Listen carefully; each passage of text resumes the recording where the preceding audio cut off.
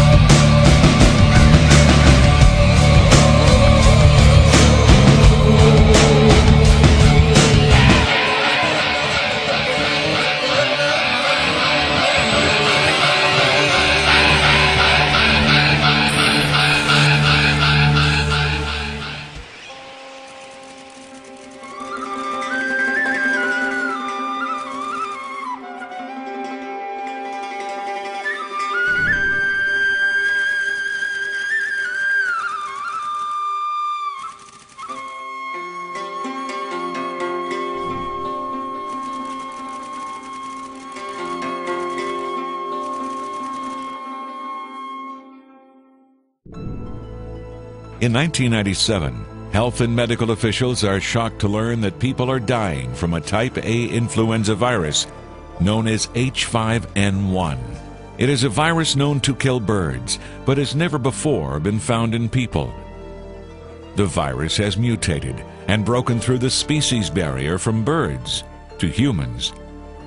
This sparks fears of a potentially devastating global pandemic that could kill millions of people it is almost certain that the global community will face another influenza pandemic at some period in time. You won't be able to isolate yourself. You won't be able to escape. Almost 50% of those that we know about do end up dying from this disease. It's going to be not just a national event, it's going to be a global event. We are preparing for the pandemic, the real pandemic, where everything breaks loose simultaneously around the world.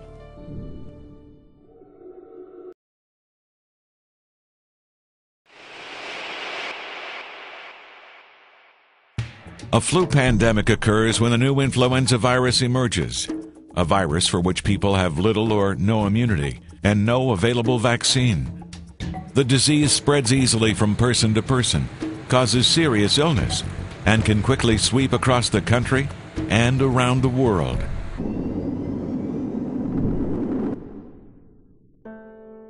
The influenza pandemic of 1918, the so called Spanish flu, remains the most deadly in recent history.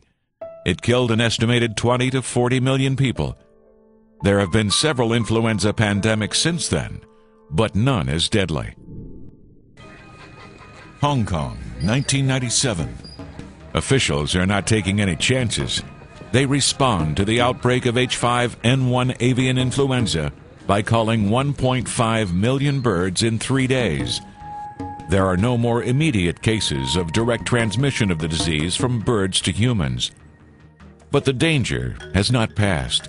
In early 2003, two more human cases of H5N1 come to light in Hong Kong, then another in China.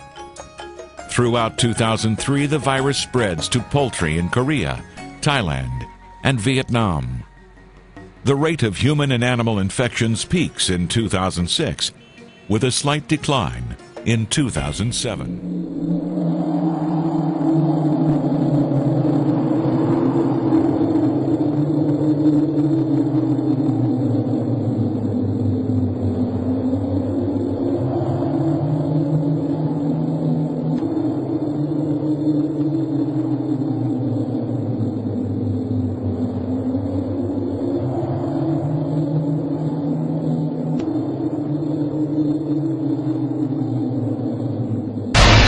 A very important development on bioterrorism to tell you about. Researchers in Wisconsin and the Netherlands, working separately, have created a form of the deadly bird flu virus that can easily spread from person to person. There is growing concern that if terrorists got their hands on this information, they could create a virus that could kill millions of people around the world. The bird flu virus, known as H5N1, is fatal in 60% of human cases. Since it was first detected back in 1997, about 600 people have been sickened by it. Of those, only 336 have died, mainly because it cannot yet be transmitted between humans.